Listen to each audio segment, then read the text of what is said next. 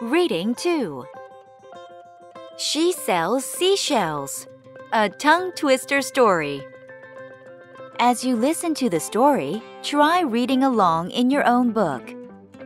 When you hear this sound, turn the page. There are funny tongue twisters in this story. Read the story and try to say the tongue twisters. This is Silly Sally. She sells seashells by the seashore. Then she picks a pretty place to picnic. Peter Piper is there. Peter Piper picks a peck of pickled peppers. A peck of pickled peppers Peter Piper picks. If Peter Piper picks a peck of pickled peppers, which peck of pickled peppers does Peter Piper pick? Peter Piper picks a perfect peck.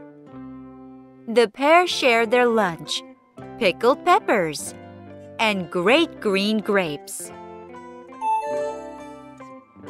Peter Piper and Silly Sally go for a walk. They see some strange sights five fat frogs flying fast. Six sick sheep. A big black bear. Then they see a woodchuck. How much wood would a woodchuck chuck if a woodchuck could chuck wood? wonders Peter Piper. We shall surely see soon, says Silly Sally. Let's visit the valley and see Betty Botter, Peter says. So off they go.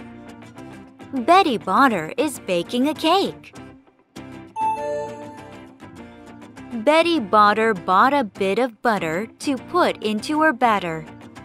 But the bit of butter made the batter bitter. So Betty bought a bit of better butter to put into the batter and the bit of better butter made her batter better. Betty offers something to go with her cake. A proper cup of coffee from a copper coffee pot. A loud noise comes from outside. More sheep!